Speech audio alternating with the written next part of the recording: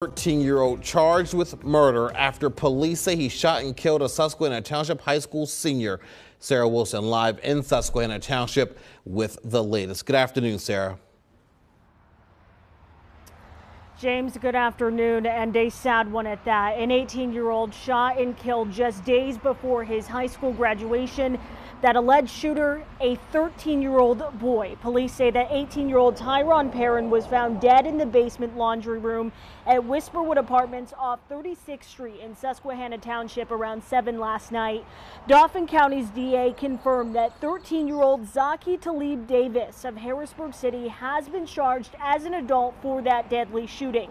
He was arraigned this morning and is being held without bail in the Dauphin County Prison.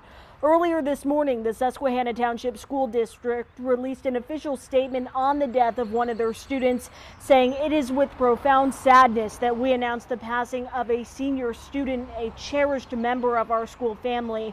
Our community is deeply affected by this loss, and our thoughts and condolences go out to the student's family and friends during this incredibly difficult time. Perrin, as we know, was clearly very evidently very active in his community. He was on his high school's football team. Again, a senior at this school. He was set to graduate on Friday. We are told by a teacher there that his mother will now accept his diploma on his behalf. That is the same day, James, that his autopsy is scheduled for. Wow, uh, as you said there, Sarah, just a very sad situation. Now, I know you had a chance to look at some of the court documents. The big question, of course, that people were going to be asking is why? What led to this? Did those documents shed any light on that?